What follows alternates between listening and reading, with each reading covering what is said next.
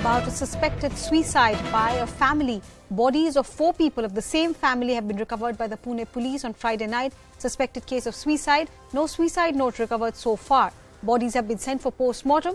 Husband and wife, aged around 55 and 45 years, along with their son, who was 24, and daughter, who was 17, were found dead at their home in Keshavanagar in the Mundhwa area of Pune. Sources claim uh, that financial loss in stock market could be the reason for the suicide pact if indeed this is a suicide. As per information that is coming in, all four have died because of consumption of a poisonous substance. So that's the input that is coming in. Uh, all four of a family, including the couple and their two children, uh, one a 24 year old and the other 17 year old, uh, consumed some kind of a poisonous substance and uh, the body has been sent for post-mortem to ascertain whether this was indeed the cause of death. A suicide uh, pact is being suspected by the police there, though so far no suicide note recovered. Mihir is with me on this. Uh, Mihir, further details? Uh, this shocking incident has come from uh, Pune, in a particular area of Pune. There is a family, uh, the entire family uh, was found dead. Uh, in fact, uh, this was something that the police found out uh, on Friday night when they discovered the bodies of four family members.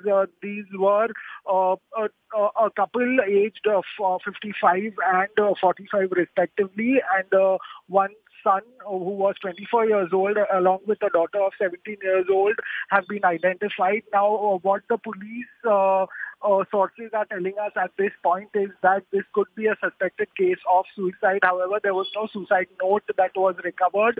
The police has sent these bodies for uh, post-mortem to understand and ascertain uh, and further investigate the case. Uh, but what we understand from our sources is that there was some sort of financial trouble, financial loss at the stock market, which was uh, which is in a sense seen as a reason behind this uh, sort of tragedy that the entire family has faced. Uh, and, and that investigation, uh, the police will take it for, further once they have uh, concrete evidence of uh, what uh, caused the death uh, at this point, uh, what we understand and sources tell us is that it could be by consumption of some sort of poison, uh, which could uh, could have led to the death of these four people uh, belonging to the same family. But police is investigating further and trying to ascertain uh, whether there was any foul play.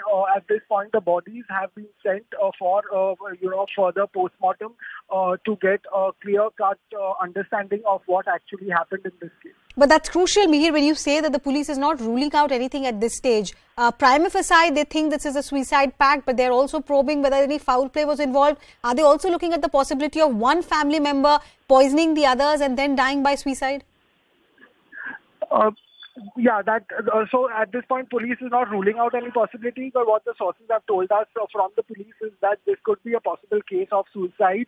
The family, uh, they have found out, uh, and sources do tell us that uh, the, the family was having some sort of financial losses, and that could have caused them to take this kind of a extreme step. Is what uh, the sources tell us. But okay. it is a matter of investigation, and the police will wait for the postmortem report to understand whether the death death happened due to consumption of some sort of poison is what they uh, feel at this point uh, as far as what the investigation is revealing.